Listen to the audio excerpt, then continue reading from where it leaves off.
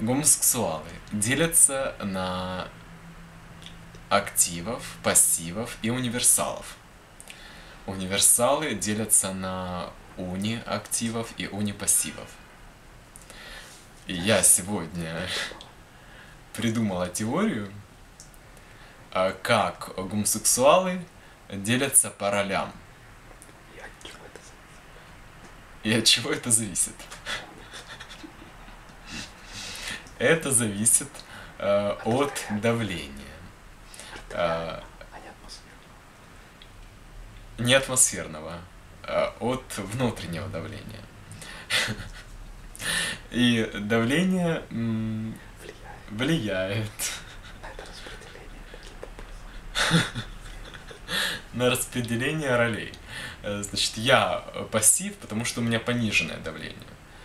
А там кто-нибудь актив, а, потому что у него повышенное давление. То есть от повышенного давления. От повышенного давления хуй встает, а от пониженного давления а, анус расслабляется.